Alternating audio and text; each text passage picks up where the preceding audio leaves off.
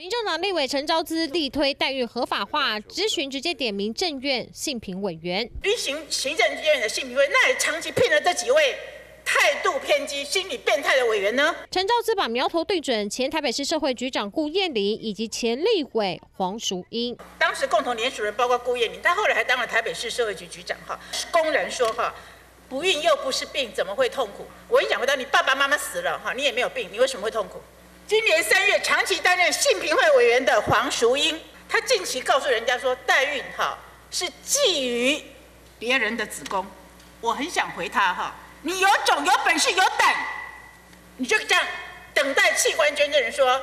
你们在觊觎别人的器官。被点名的前立委黄淑英怒批陈昭姿每次都躲在立委言论免责权大伞下进行人身攻击，会向立法院长韩国瑜提出陈情。陈昭姿的语出惊人，引发网友挞伐。网友开酸：为人父母不是基本人权，不要为了满足某些人的欲望牺牲女性。在没有良好配套措施时，让有钱人可以买卖子宫或是人口。为了推代孕，陈昭姿还推总统赖清德出来施压政院。今年国宴，我说赖总统，你还支持代孕吗？